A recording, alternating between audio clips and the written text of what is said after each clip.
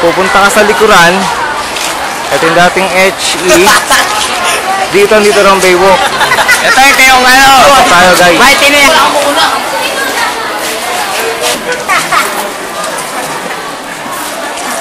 Yan. Ano. Ito raw ang tinatawag nilang Baywalk. Kung matatandaan nyo, ito yung dating, Dito yung walk, andun yung bay. ito yung dating ah Sikat ka na. shop. No? Dito. Ito bang vocational? Oo. Yan. Ayun, sikat. Hindi na bago. Hindi na bago. Ito. Ito ang CR. Alam ni tita to. Dito dati nagpa-props ng The Drum and Bugle.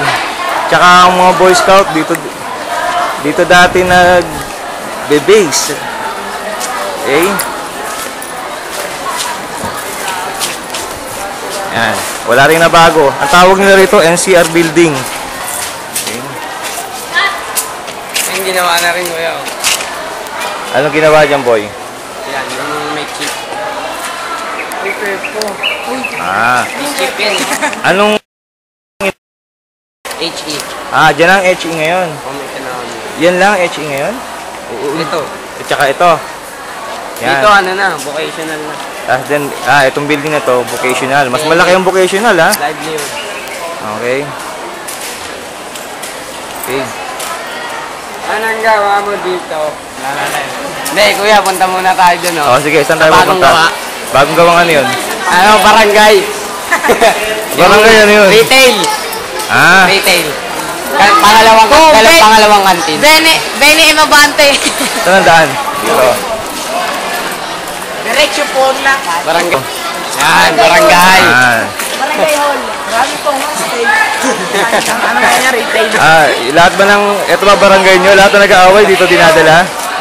Hindi, lahat Dito ng binabarangay. gutom na nag-aaway. Dito dinadala. Ah, dito binabarangay. Lahat ng gutom na nag-aaway. Dito nag-aaway. Ah, dito, dito Dito pinagbabate. Yung pa GG. Para, Ayun o, ayun o, kuya yung kulungan o. Ayun o, ah, doon. bagong kulungan. Yung dating sa elective natin na environment science, may garden tayo dati sa likod ng building. Yung dating magaganda na mga magagandang babae, naging pangit na. Yun. Mga magaganda natin. Yan yun.